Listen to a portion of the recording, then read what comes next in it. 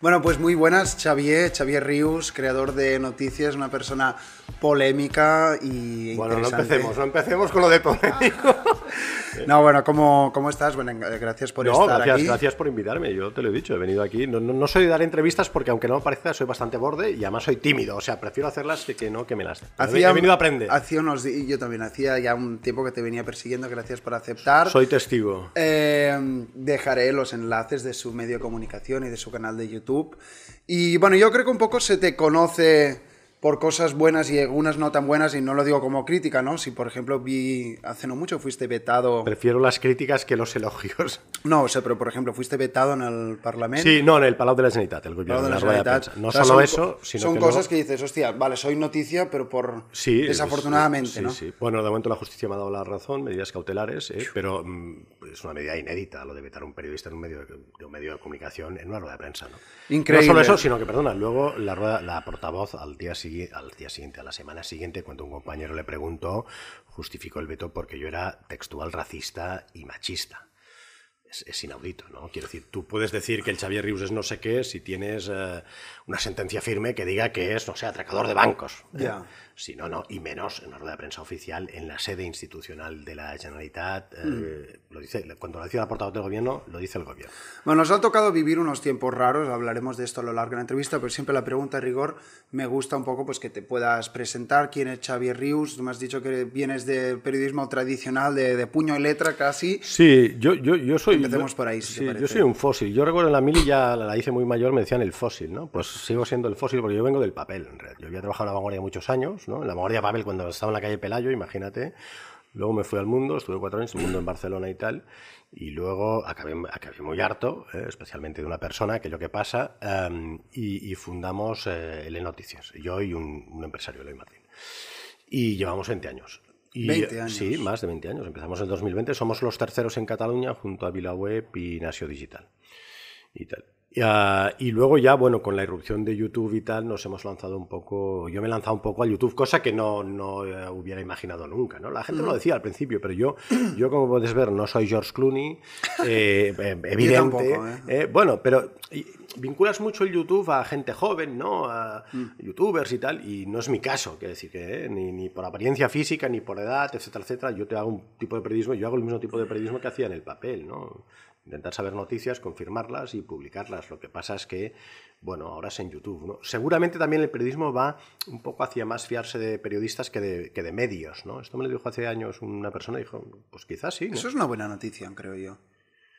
O sea, porque da independencia, ¿no? Y personalidad Bueno, establece- también. estableces, yo creo que estableces una relación casi personal, ¿no? Con el lector, ¿no? Y te siguen. Yo, hay gente que, desde aquí, ¿no? Simón y tal, tengo unos cuantos super masocas que, que incluso pagan por verme y, y- y me siguen. Y, y se fían de mí, que yo creo que es lo más importante en un periodista, ¿no? Que Incluso también "Tío, para el periodista no tiene que estar a la merced de la línea editorial de su jefe, entre comillas. Eh, pues sí, yo hace 20 años que nadie me toca un titular, lo cual Ya. a nivel profesional es, es fantástico. ¿no? no puedo decir lo mismo de cuando estaba en la vanguardia o en el mundo. Vale, pues entremos un poco en materia, tanto lo que sería tú como Xavier Rius como en Noticias, un poco de qué trata, ¿no? O sea, yo veo que aquí en Barcelona, en Cataluña, que es donde estamos, pues es- tenemos que darle visibilidad a lo que está pasando, porque están pasando cosas muy raras y bastante trágicas desde hace más o menos 20 años, que decías tú. Eh, un poco cuál es el enfoque que le das o que le dais, porque todo se está volviendo bastante bizarro. Yo creo que tenemos que contarle al resto de España o al mundo en qué se está convirtiendo Cataluña. Como mínimo yo lo, lo veo así. Bueno, según los indepes, Almón ens mira, ¿no? El mundo nos mira, pero nunca a mí. Yo creo que es una de las sucesivas posverdades del proceso, ¿no? Hubo muchas, ¿eh? Carmeta, lo digo, en- las empresas no marcharán, que dijo más, ¿no? los bancos no se irán, también se fueron. ¿No? No, sé, yo creo, yo creo que el proceso ha afectado casi, al menos a la mía, a, a la autoestima como catalán. Y, y ha generado también una falta de confianza, ¿no? A mí me gusta mucho la historia y siempre... Confianza entre personas, ¿te refieres? No, la falta de confianza incluso entre en nuestros propios representantes políticos. ¿no? Mm, seguro. Porque aquello que dices, que, que- es decir, eh, em, permíteme decir una cosa, bueno, no sé si tus seguidores están interesados, en pero la no, sé si están interesados en el proceso, ¿eh? porque ahí ya está la gente muy harta. Llevamos 10 años, ¿no? Pero la independencia de Cataluña no podía salir bien. Es que es una obviedad. ¿Por qué? Bueno, porque hay más de la mitad de los catalanes que no son independentistas. Ya está, cerramos el debate.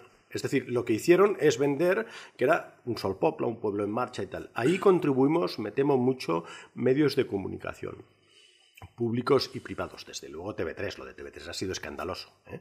Si un día los catalanes, y espero que no, llegamos a las manos, en parte será por la influencia de TV3. Qué Y, ah, claro. La y- teba, la sí, tuya. En parte, ¿no? Y luego otra cosa también, los medios no se hacen solos. Yo lo digo siempre, no es como meter una pizza en el horno, ¿no? Los medios los hacen periodistas de carne y hueso. Y aquí la mayor parte de la profesión, excepto algunas, algunos pringados, entre los cuales, perdona, me incluyo, ¿eh? y hay más, ¿eh? Albert Soler, etcétera, etcétera, mucha gente. Bueno, no, no mucha gente.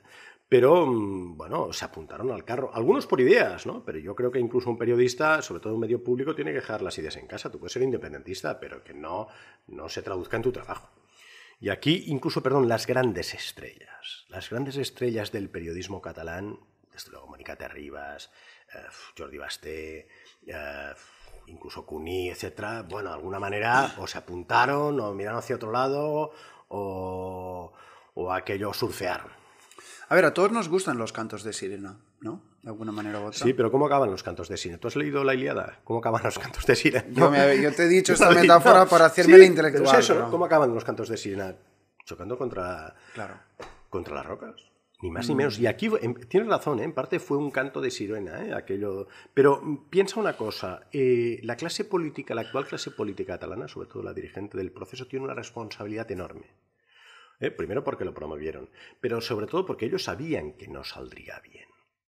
Eh, Esto es una obviedad. Tú no puedes hacer la independencia Sí, pero esto es como el Titanic, ¿no? Un poco, o sea, decir, bueno, Es- no, Sigue tocando, tú ¿no? ves La el iceberg, Titanic. Tú ves el iceberg y sigues hacia el iceberg. ya. ¿eh? Pensando que saldría bien. No podía salir bien por lo que te digo. A ver, oiga, ¿cómo va a hacer la independencia de un territorio que la mitad de los catalanes no quiere? Bueno, a ver, pero ellos civil. también hacen el juego de la legitimidad de que, digamos, en la Bueno, porque en el Parlamento tal, 50 Claro, más 1. Bueno, crearon esta burbuja mediática de un sol popla, etcétera, etcétera, la contribución que te decían los medios de comunicación, de los periodistas y tal. Pero yo no me creo que gente como Artur Mas, como, bueno, o Puigdemont, etcétera, no lo viesen. Perdona, incluso los palmeros, ¿no? Los pal- Ra- Rahola, ¿tú te crees que Rahola no veía que esto no saldría bien? Ya con su nivel, etcétera, etcétera, ¿no? Pero se apuntaron, fueron los que iban tirando. Entonces hacen una huida adelante, ¿no? Esa es la única... Bueno, sí, yo creo que fue básicamente una huida adelante por varias cosas, ¿no? Por tapar los casos de corrupción, los recortes, acuérdate tú, había mucha polémica por los recortes. Eh, yo creo que más hizo un cálculo erróneo, empezó con él. Es decir, bueno, si generamos una ola y yo me pongo encima, puedo estar gobernando 30 años, más o menos, ¿no? Como en plan surf, ¿me entiendes? O sea que sí, en parte yo creo que pues, también había, pues no sé, un 25% de gente que legítimamente decía, no, no, yo soy independentista, vamos a probarlo, ¿no? Yo quiero la independencia.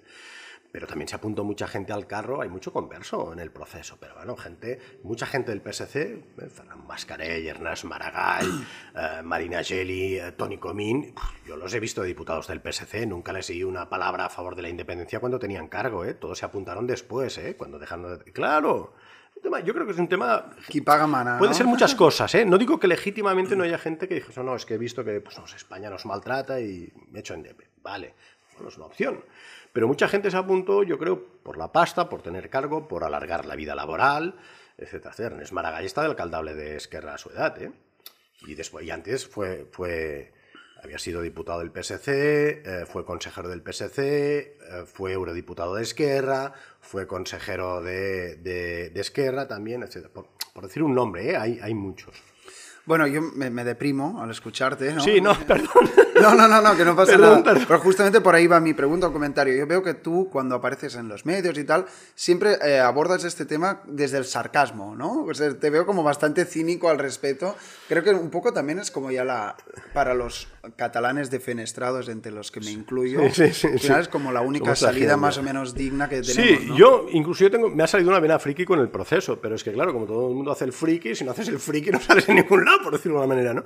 Y te das cuenta un poco de esto, ¿no? Claro, es que aquí, no sé, ¿no? Tú, tú no te acordarás una vez, eh, eh, Romeva, un día Romeva y, y- y Ramón Tremosa protestaron, prote- no sé, presentaron una, una, una pregunta en el Parlamento Europeo sobre un pisotón de Pepe, ¿te acuerdas? Era un defensa central del Madrid, Sí, así, ¿eh? sí, que sí. le pegó un pisotón a Messi en un partido de Copa. Lo llevaron al Parlamento Europeo. Eh, claro, ahí, y luego Romeva, que siempre ha sido uno de los elogiados del proceso, porque venía de la izquierda, eh, lo recibimos con los brazos abiertos y tal.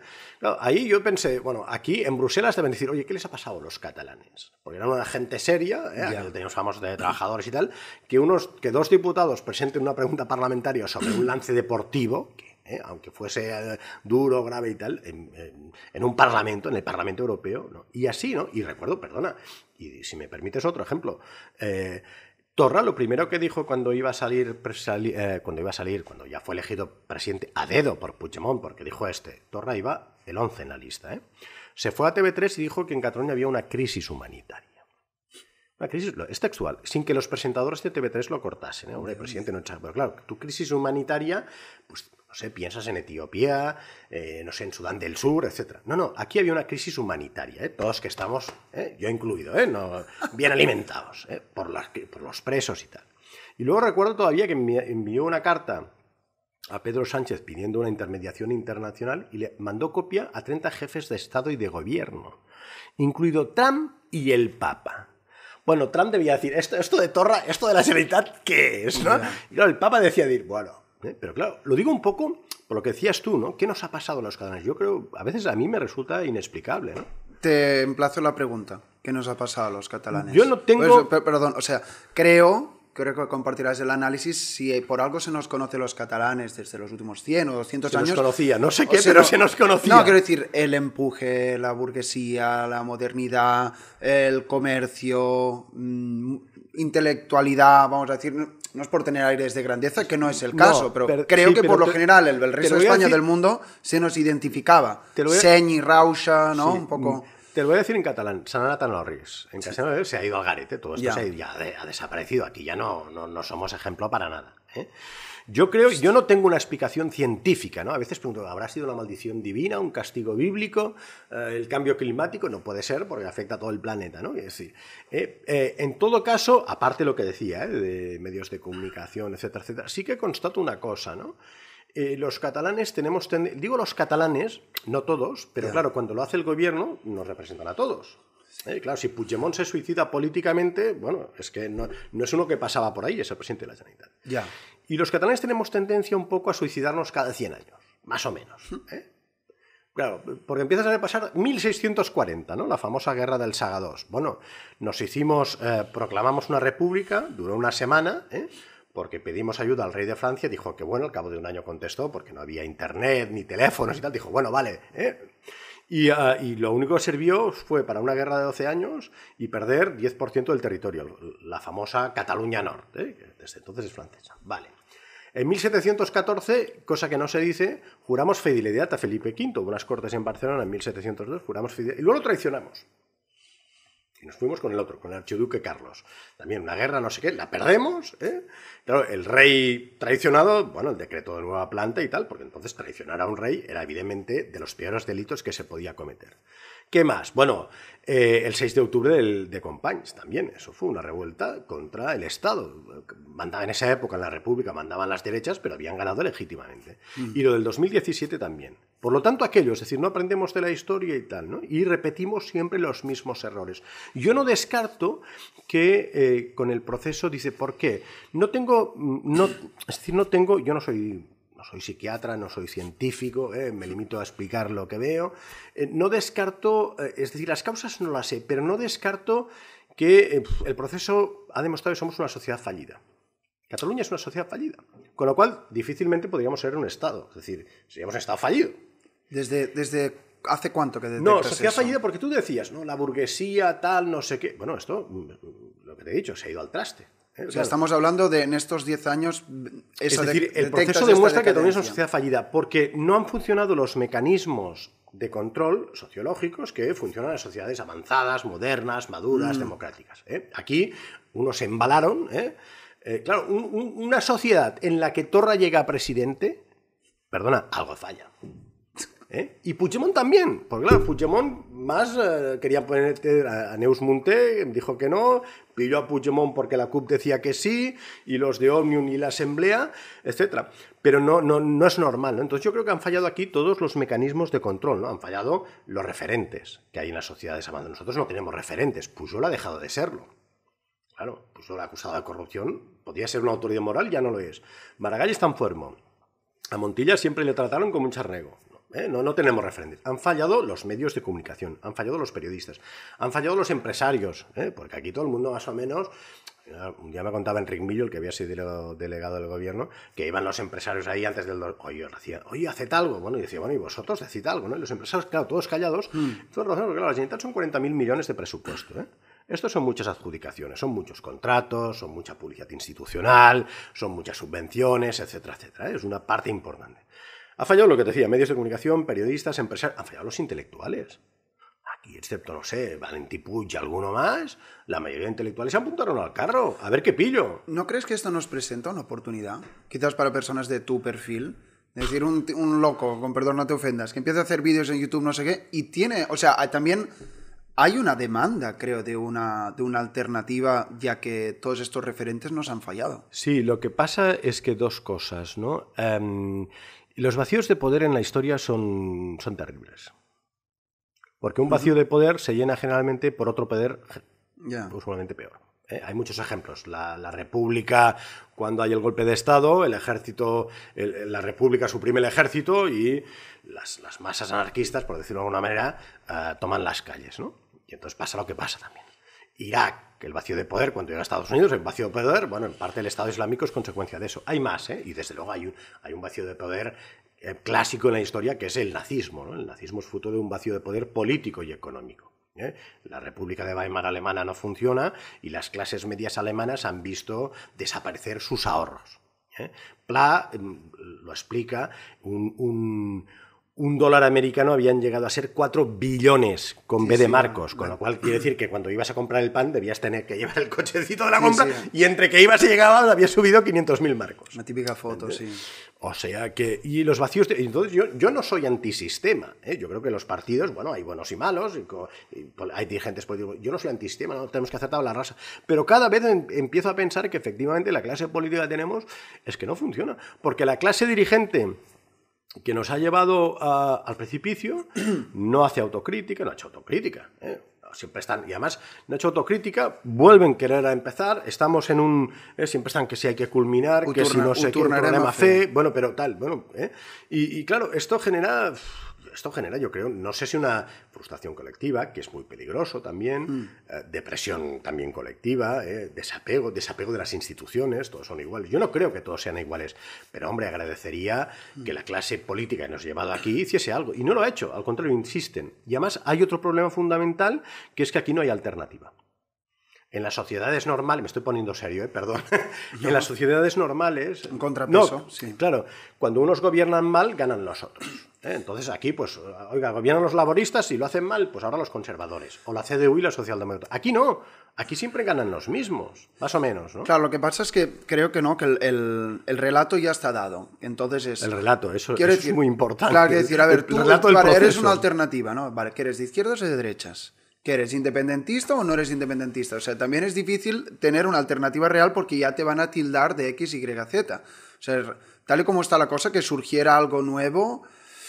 Quiero decir, por ejemplo, no sé, yo, a mí uno de los temas que me preocupa relacionado con todo esto es realmente la desunión civil. Ver a tu vecino como un enemigo, porque eso ya sabemos la pendiente resbaladiza que, no, que nos lleva. Eh, eso es el gran riesgo. ¿eh? Entonces, ese, esa idea de que si no eres independentista eres un facha, Ojo, que también hay muchos fachas que dicen los lazos, no sé qué. también, o sea, que eso también es. Claro, eso es una de las posverdades del proceso que ellos han creado. Es decir, eh, fíjate, en, TV3 colgar una pancarta gigante això va de democracia. Es mentira, no iba de democracia. democracia de la, de la mía. No, iba, de, independencia, era para edulcorar. Pero además ahí, claro, hacías, había dos, dos cosas graves. Primero, eh, eh, eso significaba que los que no estaban a favor de la independencia eran, eran, eran fascistas, ¿no? Claro. Si, si, la si los indep somos los demócratas, todos los demás, todos los demás, va desde el tío del PSC al de Vox, ¿eh? que por mm. cierto, todos son catalanes. Ya. Pero entonces todos estos son fascistas. Están en contra de la independencia, están en contra de la democracia. Y eso es terrible. Y luego ya de parte, hombre, que un medio de comunicación público cuelgue una pancarta así, yo no lo he visto nunca. Y además una pancarta que era mentira. Bueno, y, el, y el Parlamento y una institución que ponga... Ah, los lazos y tal, ¿eh? Y entra, yo también creo que eso no se puede hacer, ¿no? Pero bueno. Bueno, eh, sigámonos poniéndonos de buen humor, si te parece. perdona. No, no, no, no, tengo, no tengo problema. O no, o vamos un poco a la parte contraria. ¿Hay algún antídoto? ¿Hay alguna solución? ¿O aquí cada uno tiene, como voy al Far West, ¿no? Cada uno tiene que ir un poco a la suya. O no sé, alinearte con gente. Yo qué sé, por ejemplo, hablábamos antes de la meridiana, que para quien no lo sepa que esté viendo esta entrevista, hace más de dos años que se viene cortando una arteria principal de la ciudad en hora punta, de lunes a domingo. Hay que valorar la constancia que tienen, ¿eh? eso sí, llueva o nieve, están ahí. Tal. Eso genera una inestabilidad institucional, eh, moral, cultural. O sea, realmente me, cuesta pensar un antídoto de decir, bueno, en, algunos aspectos la sociedad está enferma. Es, que, a ver, que cada ¿no? comunidad autónoma tendrá sus problemas y tal. Por la de aquí es más acuciante porque tenemos otro relato, más allá de lo típico de izquierdas o derecha, arriba y abajo. Aquí tenemos el tema de la bandera y el nacionalismo. Este rollo viene a decir, em, ¿tenemos una cura? ¿Has pensado alguna vez? Tú que estás en contacto con todo esto. Eh, es un poco lo que te decía antes, ¿no? Las sociedades normales, bueno, ganan unos y, ganan los otros. Aquí no, aquí más o menos siempre ganan los mismos. ¿eh? Se les favorece la ley electoral, el sistema mediático, TV3, etc. ¿no? Incluso con Maragall, eh, bueno, es que ahora yo recuerdo a Carot presumiendo que tenía las llaves del gobierno, ¿no? Y además otra cosa, perdona, la, alternativa, ¿la alternativa cuál sería? Bueno, pues. La paz civil. Sí, no, pero me refiero, con suerte sería.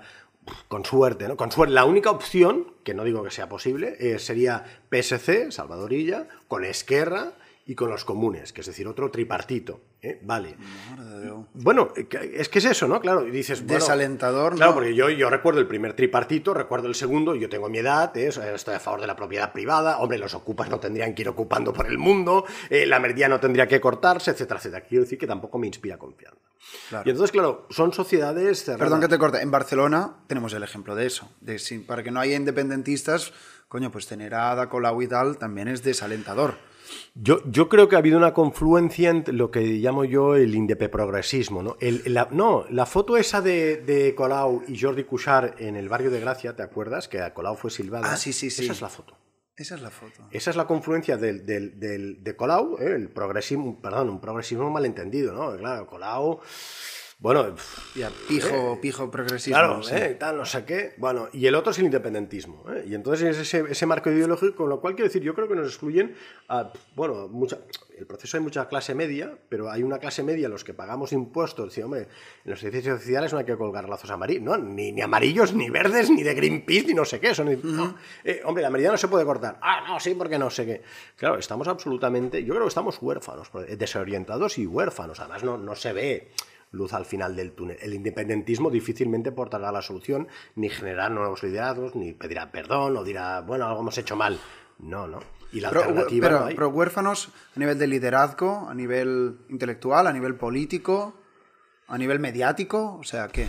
Yo creo que es, es, una orfandad moral, ¿no? Lo que decías tú, yo no creo, yo soy un tío práctico, no creo nunca en esas cosas, pero eh, un día, hace poco le hice una entrevista a Valente Puig y él acabó diciendo que, pues quizá tenemos una enfermedad moral, ¿eh?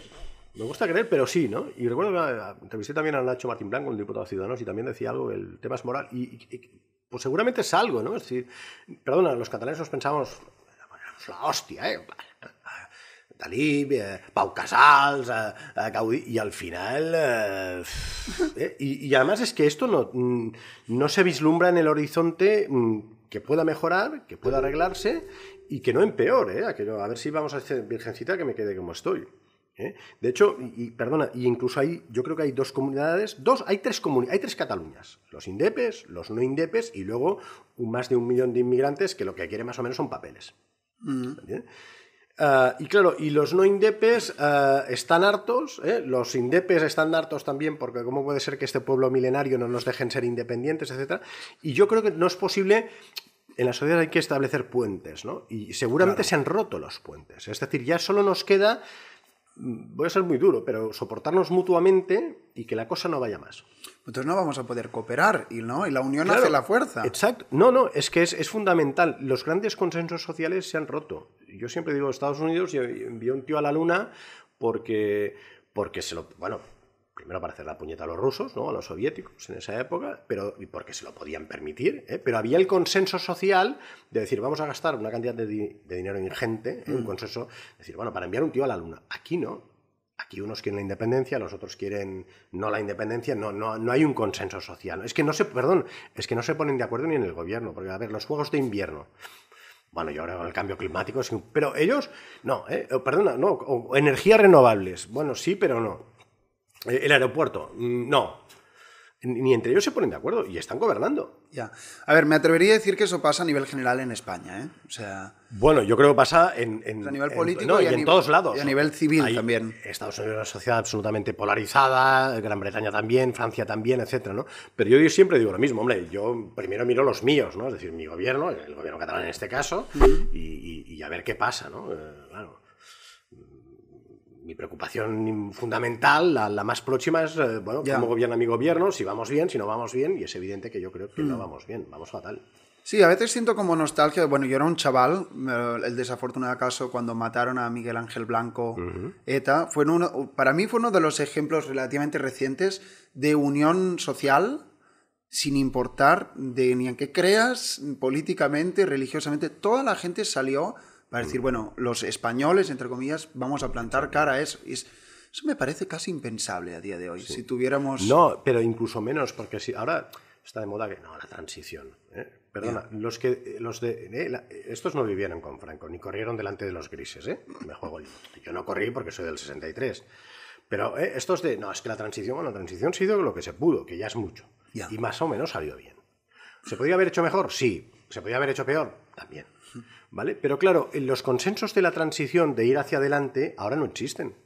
unos, hasta la transición, no, ¿eh? y otros, no, no, España es franquista, no sé qué, etcétera, etcétera.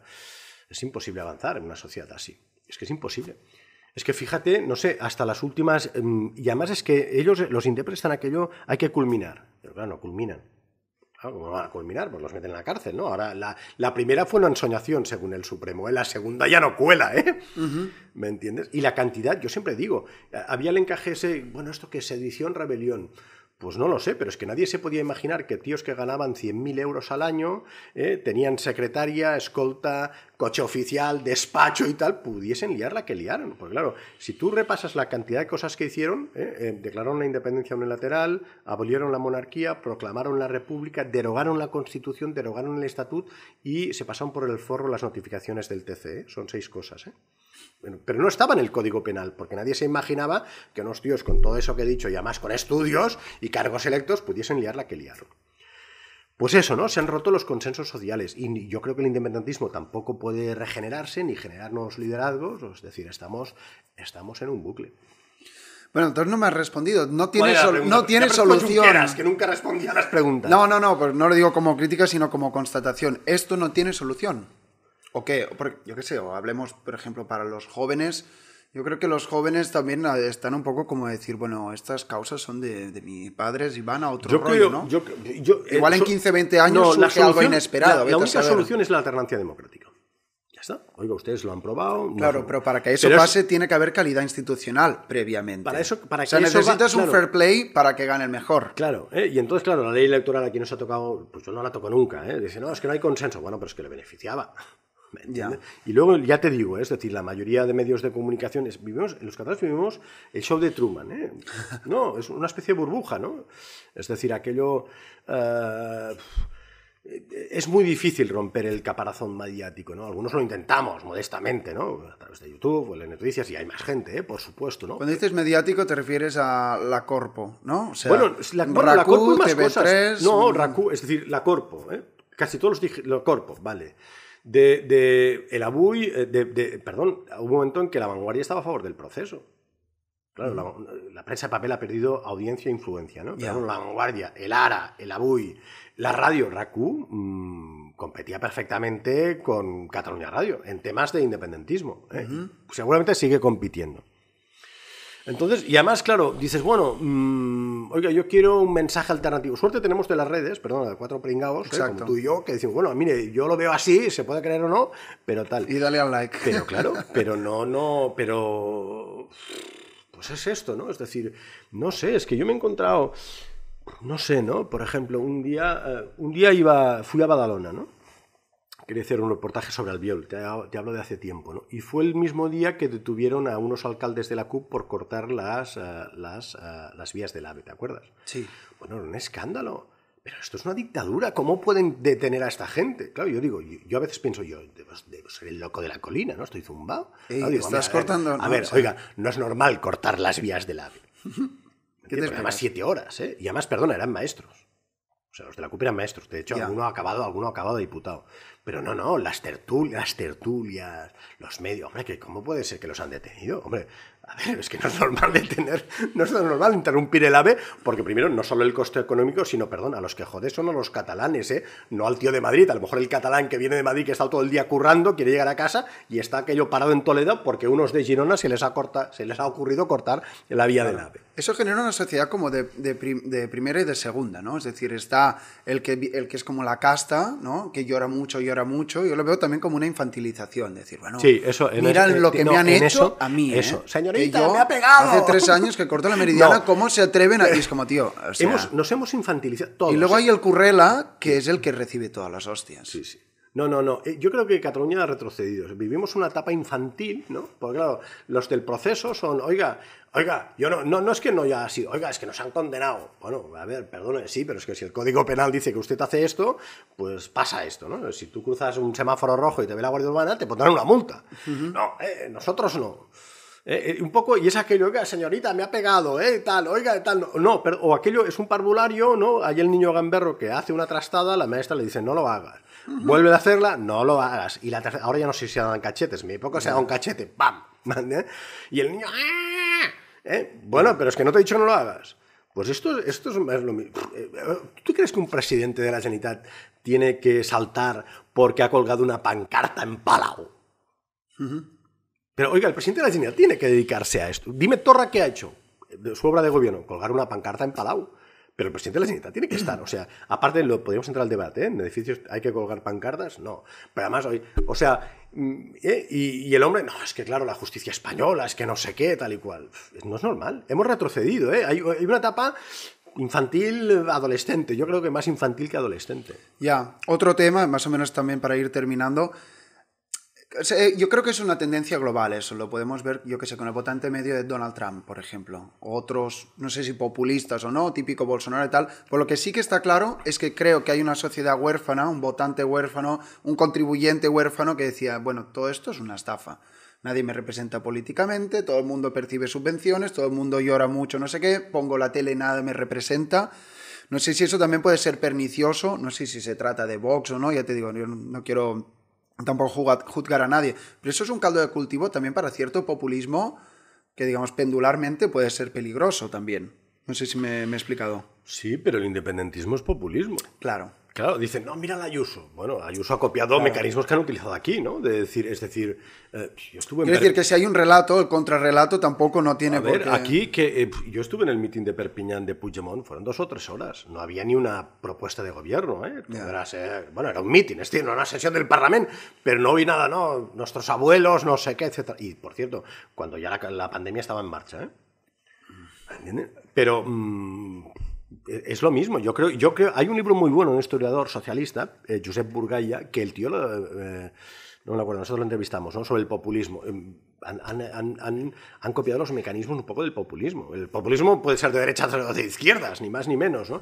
¿Y qué es el populismo? Bueno, un poco también el, el fin justifica los medios, ¿no? Poco es esto también, ¿no? Aquí, oiga, oiga, la ley de transitoriedad no la aprobamos en el Parlamento deprisa y corriendo sin que la oposición pueda decir nada y tal, porque claro, la independencia de Cataluña es nuestro gran objetivo, es sagrado y tal. Bueno, hay que respetar los mecanismos democráticos, ¿no? Sobre todo el resto de la población y las minorías, es fundamental en democracia también. La, lamento verte a ti y a la No, no, no, me, me- me- me pasa con frecuencia. anímicamente. No, no, a ver, tampoco no es anímicamente porque me, lo estoy pasando bien. Pero bueno, a ver si podemos terminar esta entrevista como con Venga, va, vamos punto Yo sí tengo una visión trágica, ¿eh? de- no, a ver, sí que es verdad que uno tiene la sensación de tormenta perfecta. Y Mm. vale que, mira, yo que sé, no, no vivimos en Ucrania, que, que puede ser peor eh, tal, pero por ejemplo, ayer eh, el Casado, el Teodoro, no sé qué, la Ayuso, hachazos por aquí, o sea, realmente uno ve una peli del padrino dices, hostia, veo similitudes. Es la que esta casta política también tiene un comportamiento cuasi mafioso. nadie mata con un bate de béisbol. No, pero me refiero la idea de, de, de, no hacer prisioneros. No sé si me explico. Yo siempre digo la política es como la guerra sin sangre. Ya. ¿Eh? Es decir, inventamos los parlamentos porque antes sacaban la espada y se peleaban ahí. ¿no? esto, ¿eh? ¿eh? no, pero es, en, es que no, la vocación de servicio. Bueno, sí, pero tú quieres imponer tu visión de la vida, ¿no? Yo creo que la política es esto, ¿eh? es, es Clausewitz, es un Zu, etc. Lo que pasa es que sin sangre, felizmente, se inventaron los, los ingleses. Pues los ingleses están en frente a frente, ¿no? Y tal. Pero antes sacaban la espada, ¿no? Y hacían una guerra civil. Y aquí también, ¿eh? Y bueno, eh, hemos avanzado. Lo único es esto, ¿no? Lo que te decía, ¿no? No hay grandes consensos sociales y yo mm. veo, veo difícil solución. Bueno, por lo que digo, entonces, a nivel individual, a ver si pudiéramos lanzar como algún consejo o algo así. ¿Cómo salvaguardarse? Yo, por, por, ejemplo, lo que hago es no mirar el, el ruido, que siempre digo, ¿no? Mm. Prefiero la música al ruido, no miro la tele, no sigo las tendencias de Twitter y tal, para construir, para trabajar y para, para interactuar. No sé, uno, ya te digo, a nivel anímico, a nivel eh, mental, pues uno, ¿cómo, cómo sobrevivir a toda también esa tendencia? Yo, ah, yo eh, el otro día hablaba con un amigo que me hablaba de un amigo que lo acaban de, operar del corazón, le mandamos recuerdos de aquí, Salvador Oliva, no, no le he llamado todavía, pero me dijo que el médico le ha recomendado no ver TV3. que puede ser, no, pero claro, este es que la policía, claro, es que TV3 empieza por la mañana, luego el mediodía, por la mañana, primera hora tal, claro, y cualquier cosa, el otro día en TV3 sacaban como noticia eh, eh, del Telenoticias que el Consell de la República, que al final hemos sabido que es una especie de Ministerio de Asuntos Exteriores de la futura República Catalana, etcétera, aprobaba el reglamento pero no es que dijesen, ha elegido a Puigdemont de presidente, no sabíamos qué era él, el Consejo de la República, un chiringuito de Puigdemont, pero aprobaba el reglamento y esto salía por TV3, una tele pública, ¿no? O sea, imagínate. Entonces esto, pero yo, yo lo que recomendaría a, a los es que nos... No, es que no pierdan el sentido del humor. Ya sé que es difícil, ¿eh? Y los catalanes no somos la alegría de la huerta, pero incluso yo que soy un tío serio, en la medida, mi mujer me dice que evidentemente que no, que olvide más las cosas, que tal, pero, pero intentar aquello pues eso, no para el sentido del humor. Yo recuerdo, por ejemplo, Albert Soler, que tiene varios libros, está escribiendo otro, eh, un periodista de Girona, que lo descubrí hace años. Mm, eh, me acuerdo, yo he ido a varias presentaciones de su libro. Él se cree que es por su libro, pero no, es porque me lo paso bien. Claro, la que hizo en Barcelona estaba él, estaba Ramón de España, estaba Víctor Amela, y bueno, al menos te ríes, ¿no? Dices, bueno, sales un poco de la burbuja esta, ¿no? Y entonces, pues esto, a la medida de lo posible, pues bueno, a tomárselo aquello sentido del humor. Si no, acabaremos locos, o más de lo que estamos. Perdona, ¿eh? No, no, no. No, que está bien. No, no, bueno, no pues, ha servido. Pues si te parece, terminamos con, con este alegato del sentido del humor que lógicamente comparto. Y también de, de tender puentes que decías, ¿no? O tejer nuevas realidades alternativas a todo, a todo esto, que como te digo, es una burbuja. Yo pongo, por ejemplo, el programa este Planta Baja de, TV3, que a veces lo ves y dices, ¿de qué coño habláis? ¿no? ¿no? tenemos que darle con el tal al cagatío. En TV3 decían, no, para mejorar la oferta informativa hemos hecho ahora un telenoticias por la mañana. No era, para, era para hablar del proceso. Entonces tienes, claro, el informativo mañana, ¿eh? proceso. El planta baja, proceso. El TN, proceso. Puede ser 20 minutos. ¿eh? Vale. Por la tarde, la melero, ¿eh? el proceso. Por la noche, el, TV, 3 eh, proceso. Y luego el Graset, proceso. es que no me extraña que sea líder de audiencia en Cataluña, porque todos los INDP solo ven TV3. Y aún así, perdón, es un 12%. Para eso no sé, bajamos la persiana, son 250 y la pasta que, nos la paguen ellos, lo que sea. nos cuesta. Pero claro, todos los INDPs ven solo. Pero bueno, es que eso significa que el 80% restante de catalanes ya no ve TV3. Ya. Y todo amenizado por lo que decías tú del, ¿cómo has dicho? Progre independentismo.